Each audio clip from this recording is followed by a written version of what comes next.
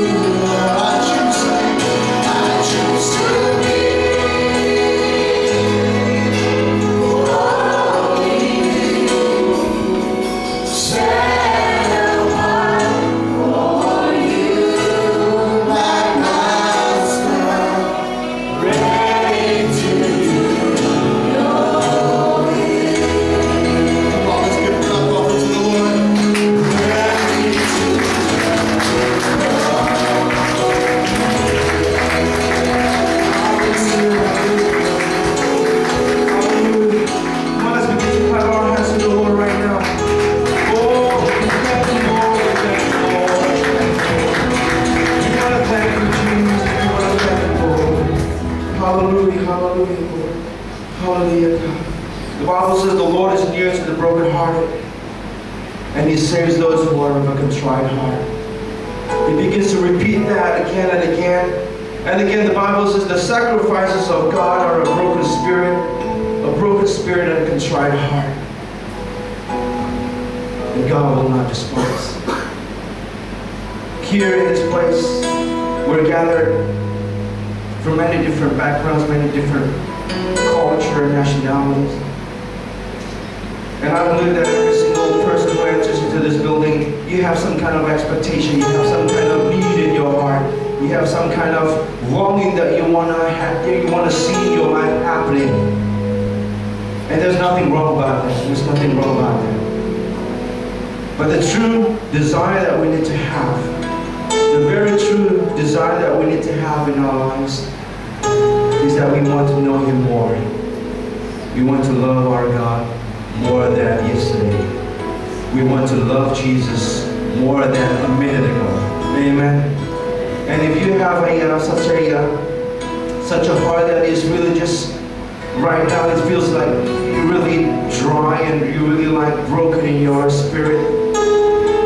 The Lord is ready to touch you. The Lord is ready to exalt you. The Lord is ready to lift you up high place that you have never been and that you've never dreamed before. Father, we want to pray right now. Across this building, across this entire place, oh God, we ask you that your hands will touch and you will move us, oh God. That your spirit will connect to our spirit. That your word will speak to our hearts, oh God in a fresh and new way. Lord, we, want to, we don't want to be the same like yesterday, Father. Want to be different, Lord. We want to have such a contrite heart and such a broken spirit that you will not despise, oh God, for your word is true. Your word says that I will not despise you, but I will look and I will touch you. Thank you, Father. We want to thank you once again for such a very beautiful presence of God here in this room. We want to thank you and we bless you in Jesus' name. And everybody said, Amen and amen,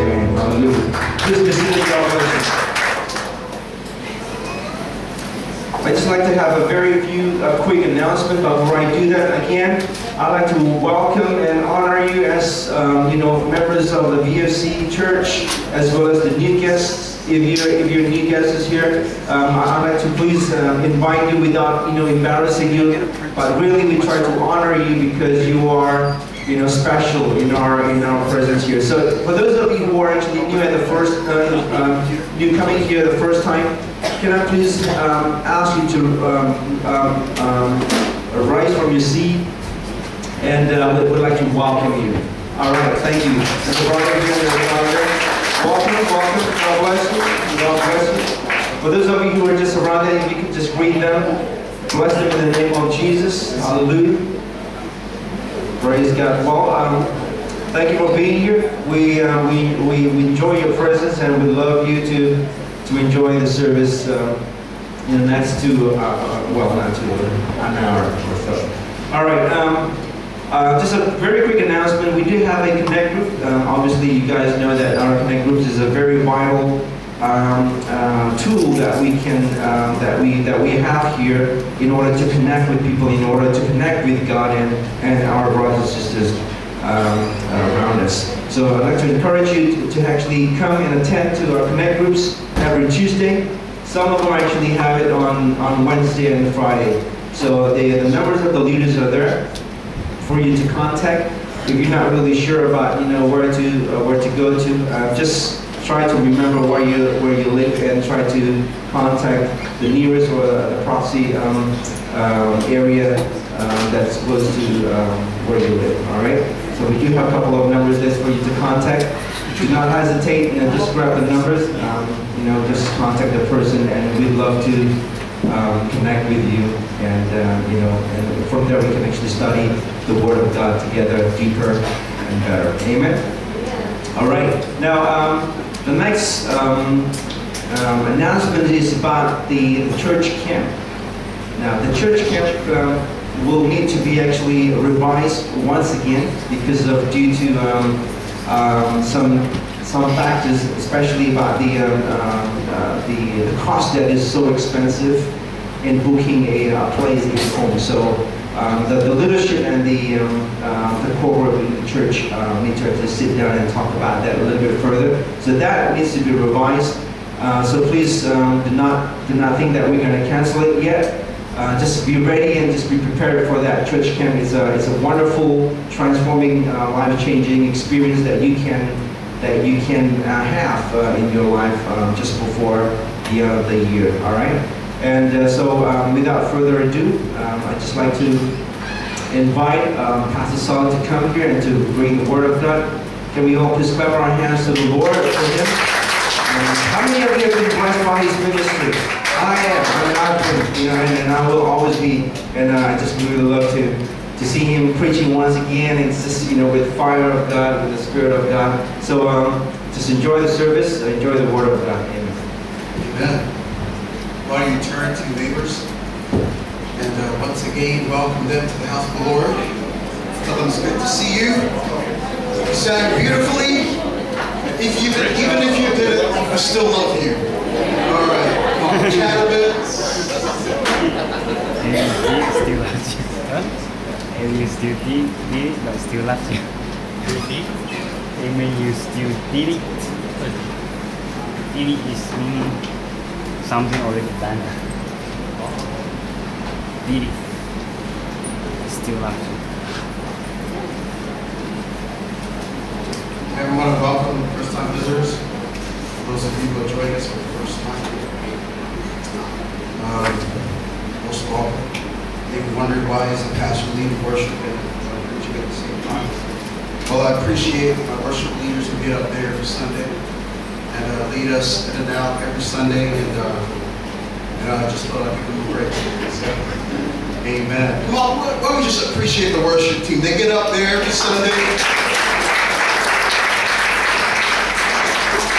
And they come in on Saturdays and they practice, you know, and then they on Sunday early, they pray up and they practice again, and then they get up and sing.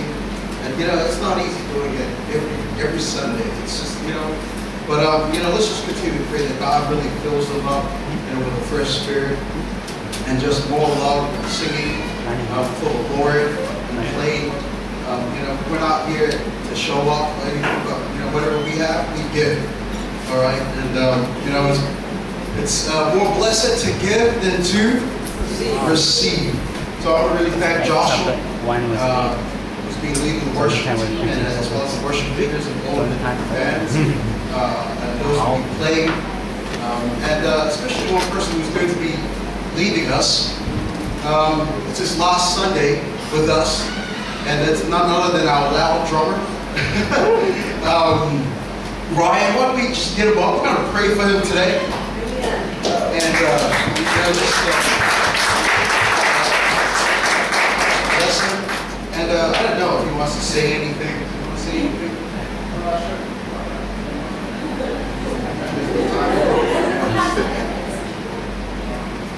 my role.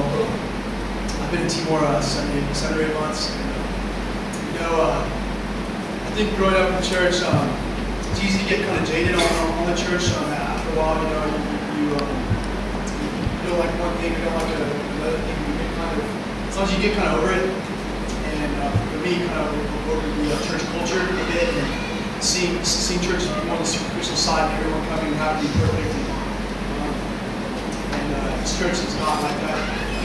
You know, it's not a church you have to come and, and be perfect. Um, no one, everyone here ha- has issues, and uh, I think that's what really kind of it, it's kind of brought me back to um, to the truth about grace, uh, to, to, to the truth that um, we're, all messed up, but we're all we're all um, looking forward um, because we're, we're Always think, uh, so it's really kind of like that. uh, in that sense to me, of trusting. So, People can hear. Well, why don't you um, just uh, Yeah, right. have us uh, pray and bless uh, Ryan today, and just um, as he goes, wherever he goes with the Navy, um, that God would just uh, be with him and strengthen him. Father, we want to thank you, Lord. Uh, we thank you for our awesome brother that's with us. We thank you for bringing him and the fellowship that he has brought. And we pray, God, even as he's about to leave uh, Timor and uh, go on to the next place, we pray that you be with him. We pray you go before him and, and Lord, you direct and guide him in every step. Lord, many times we're like sheep that go astray, but Father, that's why we need you in our lives to, to, to lead us to the right pasture. And I, and I pray, oh God, that you just, um, by, the, by the power of your Holy Spirit, just, Lord, to lead him, oh God, and, in every decision and every choice. And we pray, oh God, that wherever he goes would be a light. Lord, that, um, Father, he would bring people to the knowledge of who you are. And I, and I pray, oh God, that you just use that, that simpleness inside of him, oh God. Lord, of sharing your love, oh God, to others. And I pray, oh God, you bless him, Lord, and his colleagues and his friends that will also be traveling with him. Protect and keep them safe, Lord, in the name of Jesus. Lord, um, Lord, we're not uh, uh, saying goodbye, but Father, we're sending him forth to the nations. Lord, in the name of Jesus. And I pray, oh God, Lord, that you just continue, Lord, to lead him and let him begin to believe and, and live a life of faith, to trust, oh God. You, Lord, we may not know at times where we would end up and where we would go, but we trust in you. Lord, just like uh, Abraham, Lord, in his journey of faith with you.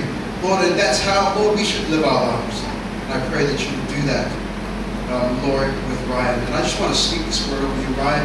For your eyes have not, for no eye has seen, no ear has heard, no mind has conceived of the things that God has prepared for you today. And I just want you just to believe and, and trust in Him in all things.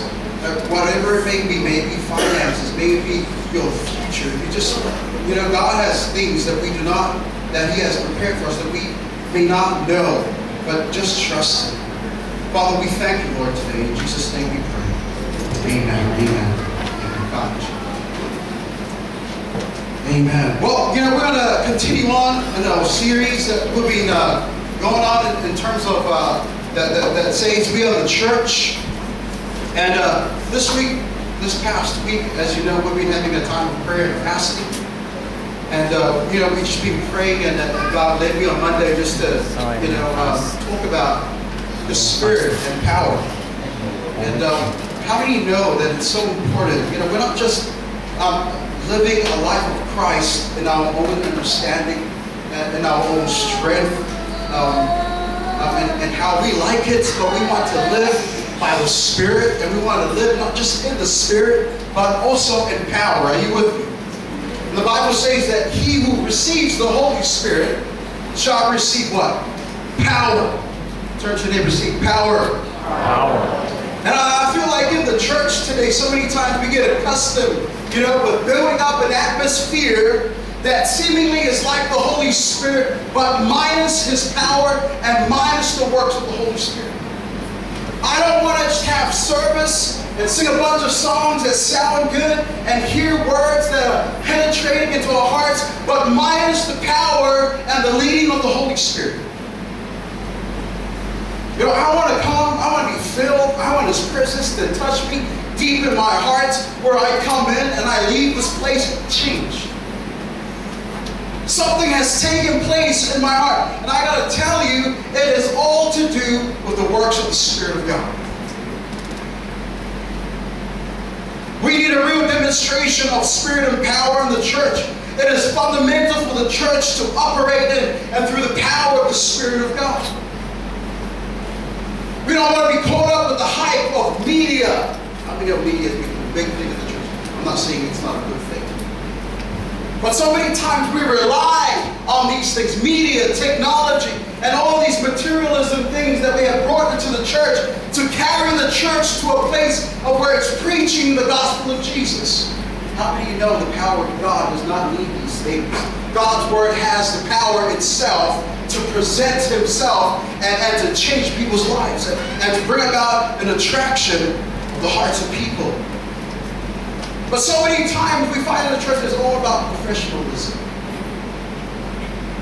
But I feel like we need to get past all of that and really have an encounter with the Spirit of God where we don't become professionals at being Christians and playing church and building church. And this is how a church should be done. But be led by the Spirit and be filled by the Spirit so that when you come in church, you're not smiling because you have to, because you're a Christian. You smile because the Spirit of God is doing something inside.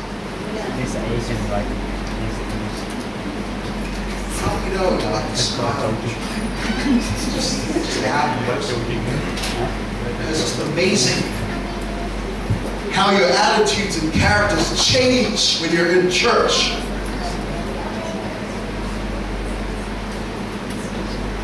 Man, we, we've gotten to that place where you know, we know how to do it. We've got to get past that. You know, don't you get tired of smiling when you know you're empty inside? You know, I don't want to just come to church and just sit and hear something good. I, I want something to happen in my life that will cause a change, that will cause a, a chain reaction in me. That the me that I know yesterday is no longer the me that I know today. The me that I know yesterday is not just only, you know, it's not the, the change doesn't only take place in church, but it is demonstrated out there. And I tell you this many times, we have a form of godliness minus power. The church is not about an organization or tradition or culture or reputation, no, is it based on success and the efficiency of administration. We see in the New Testament, we see in the early church, as much as these things are important, they relied upon the Spirit, and the Spirit of God is what birth the church, it is what carry the church, it is what giving the church the power to preach its word.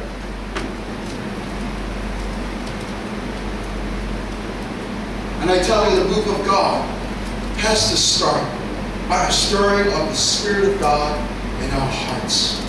May not the works the church be demonstrated by the ingenuity of man, or the unity of man's power, or the unity of man's mind, or the effectiveness, or the efficiency of how we can do things man. How many know we can do things pretty good?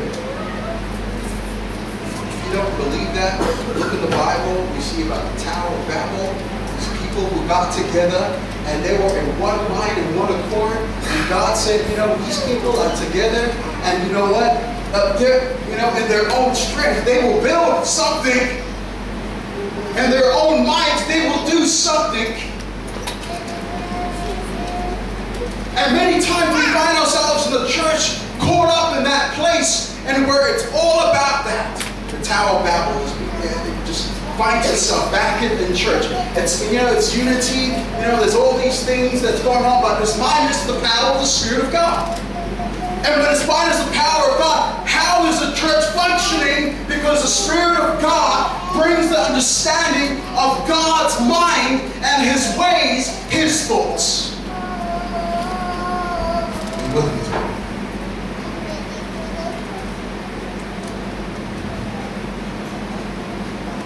We're so caught up in trying to duplicate a type of spirit-filled movement that we make it happen minus the Spirit of God. Sometimes we try, try you know, you know, we've seen it. How, how many know that we've seen people move the power of the Holy Spirit and, and, and we like that. We're like, you know, I want that. The wrong intentions, the wrong understanding. Um, how do you know that um, that uh, magician in the Bible, Simon, who saw uh, the apostles lay hands on people that were filled by the Spirit, and he came up and he said, you know what? Um, how much? I, I want to buy that house. You know? And, and, and the apostles just turned to him and said, this is not something that can be bought.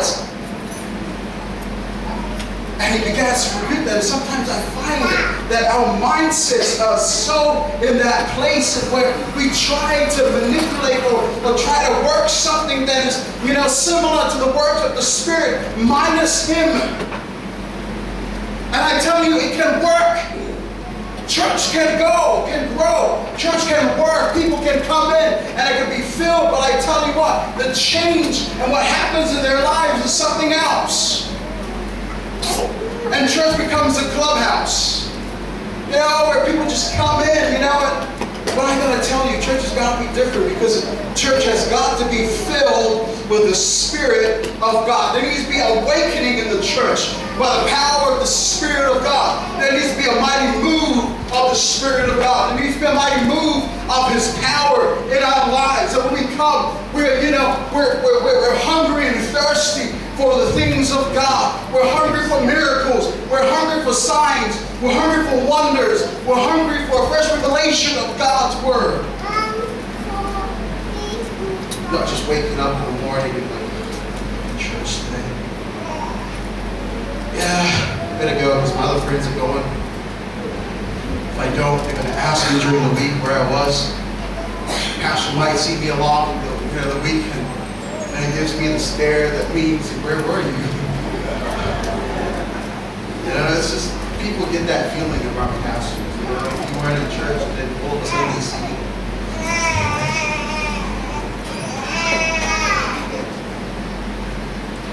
You know, many of us struggle with so many issues in, in our lives. You know, that literally dominate our mind, our heart, our body. And, and so many times we try to fight it with our own strength. We try to fight it with many other things in this world. But I gotta tell you, it is not a fight of flesh and blood. It is not a fight of human intelligence. You don't have the understanding to, and the strength to fight this thing. You know, it talks about in Ephesians chapter 6, it talks about, you know, how we need to overcome it, you know, by the Spirit of God. It's not a method. It's by the power and the Spirit of God. It's not by might, nor by power, but by my Spirit, saith the Lord. Are you with me?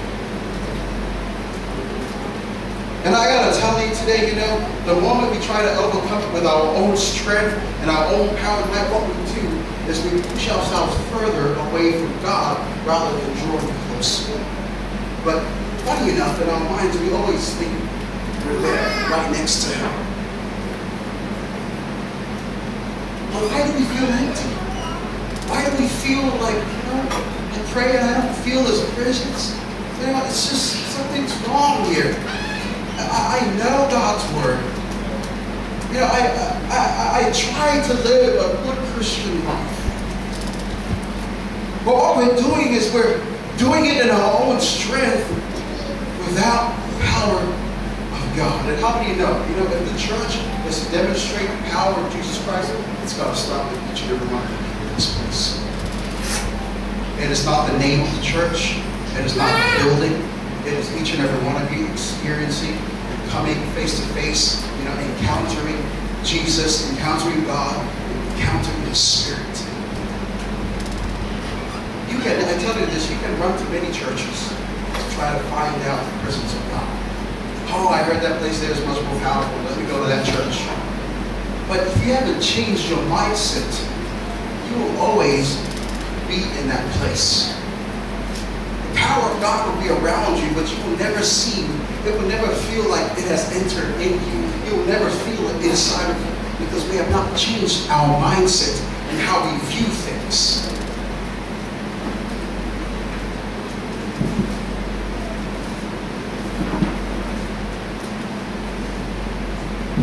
Each and every one of us.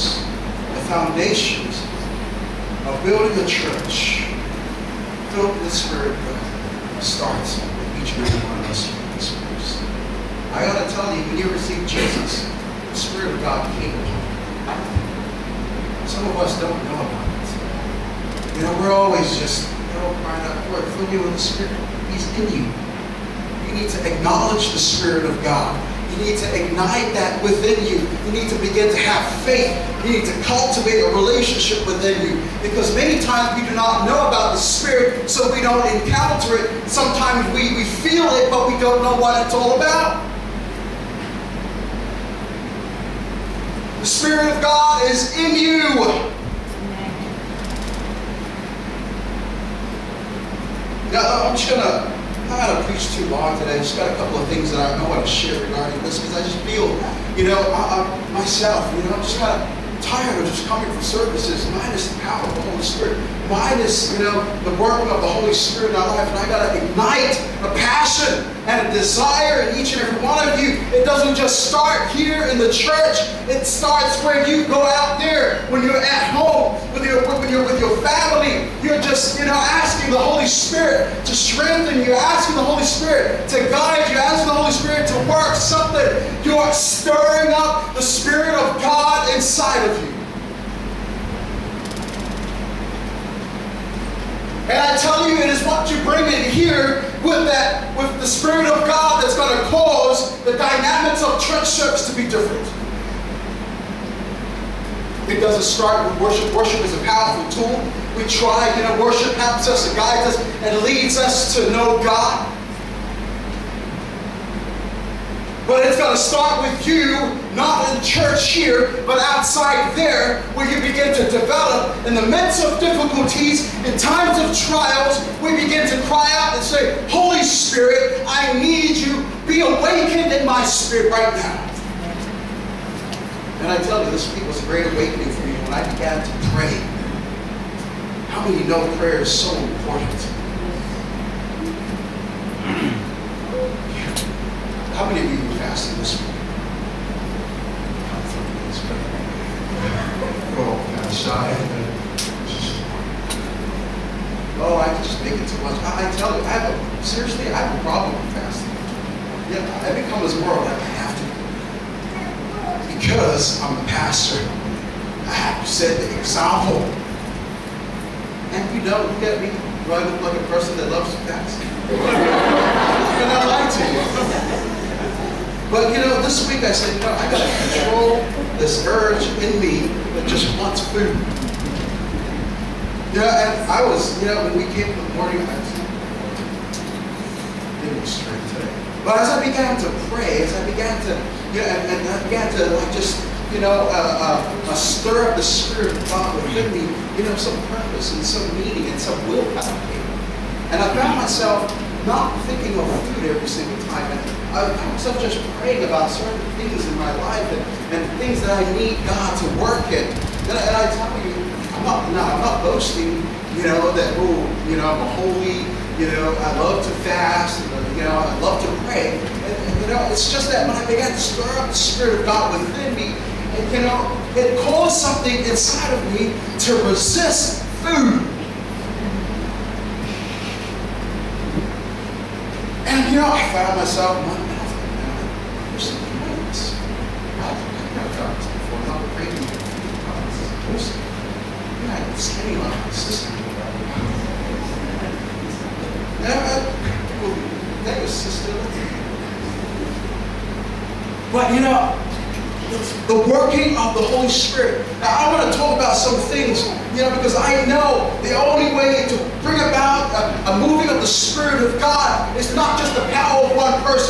person. It is not just the pastor. Are you with me? It is the church, each and every one of you that is in this place each and every life that is sitting in every seat right now, you are the church, and the power of the Holy Spirit is uh, waiting for you to open up your heart and to stir it up inside that will cause a big difference in how you view church today. And I'm going to stir that up. There are some areas that I want to look at our walk with God, number one. Number two, our fight against sin. Number three, our developing of character in ourselves. And as we develop character, it's not just for us, but it is to share and to demonstrate to others, which is for my relationship with others. How many know that it's so important, so vital that we walk with God? We do not understand. We cannot understand God. The scripture says that he wants to understand the might of God, has to know his spirit.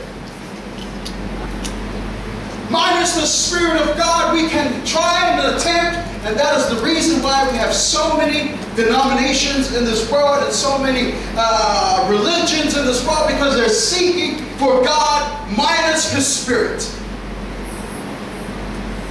Thought about that?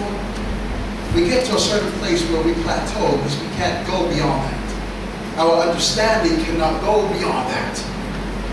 And each person that tries to seek God gets to a certain place where he plateaus, and that's the end of his understanding. And so he gets up and begins to declare another thing that is minus God. He's, he, he knows there's a God, but he, he gets to the place of connecting and he can't because it's minus Spirit.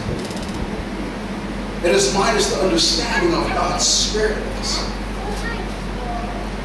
And what happens is that if we don't understand God, we begin to produce so many religions.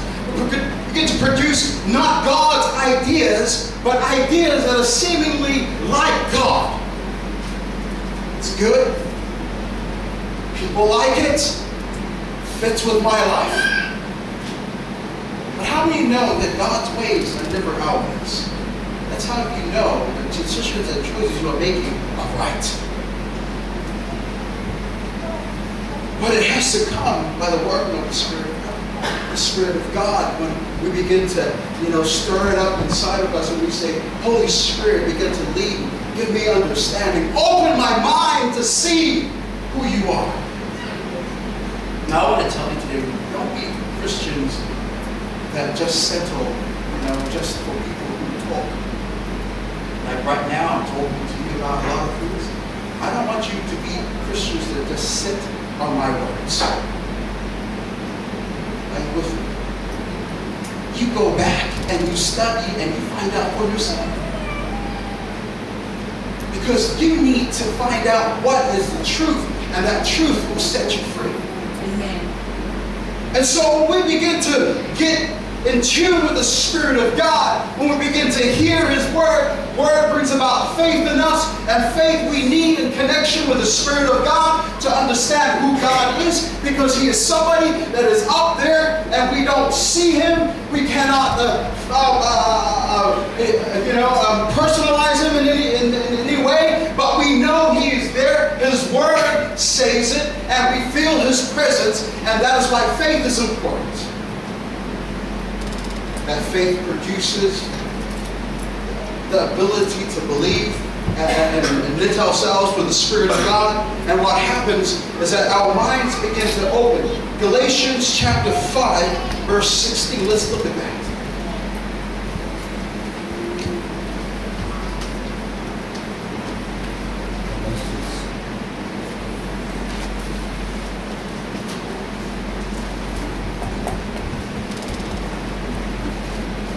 If you find it, just get up and read. Stand up, read it loud.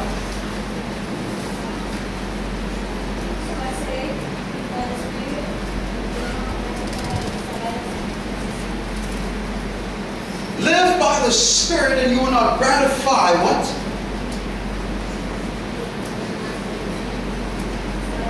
Desires or the lust of the sinful nature. Now, as we begin to align ourselves with the Spirit of God, what happens is our minds are open to the things of God. We begin to understand His Word, and then we begin to trust Him, and then it begins to build in our lives, and we find ourselves in a position where, you know, when we begin to open up His Word, God begins to speak to us. And that's the importance of God's Word, uh, sorry, the Holy Spirit with our relationship with God. Opens up our mind. Minus the Spirit of God, we have no understanding or comprehension of who God is.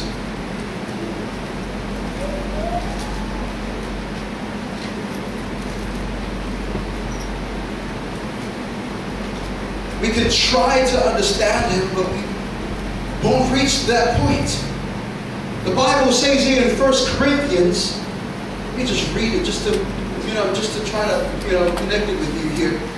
Verse 9, uh, chapter 2, verse 9, it says, 1 Corinthians chapter 2, verse 9 says, But as it is written, things which eye has not seen, and ear has not heard, and which have not entered the hearts of man, all that God has prepared for those who love him. Now, first of all, what does that say? We do not understand or know what? The things that God has prepared for those who love him. He's referring even to the people who love him. And it goes on. For to us God revealed them through the Spirit, for the Spirit searches all things, even the depths of God. Amen. Verse 11, For who among men knows the thoughts of men, except the Spirit of man, which is in him? Even so, the thoughts of God no one knows except the Spirit of God. Now listen carefully, verse 12. Now we have received not the Spirit of the world, but the Spirit who is from God, that we may know the things freely given to us by God. Now when we begin to understand, we begin to connect ourselves with the Holy Spirit, man, it just begins to, it's it's like a translation process and where things that were just, you know, a bunch of uh, uh, gibberish, you know, and, and, and foreign uh, language just makes sense. Does it mean to live by faith? You know, I'm taught in school that I need to plan, I need to figure out things, I need to be set in all these things. I, I I need to, you know, uh, I need to study to know. But here the Bible is saying I have to have faith to trust in God. When, when we connect ourselves to the Spirit of God, you know what? That just gives us an access to what faith is all about.